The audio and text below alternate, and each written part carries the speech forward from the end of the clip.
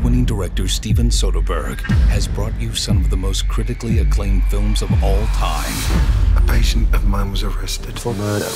This Friday, Where's her lawyer? Just kept talking about you.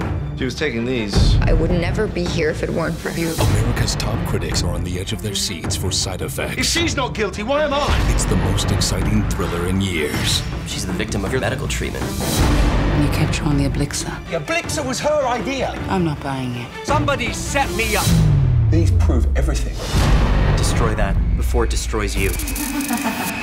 Rolling Stone raves. Jude Law is sensationally good. I want my life back! Channing Tatum is stellar. What is going on? Catherine Zeta Jones is dynamite. Everyone knows everything. And Newsweek hails the girl with the dragon tattoos, Rooney Mara, is mesmerizing. I just want to know what happened. Side effects. Rated R. Starts Friday.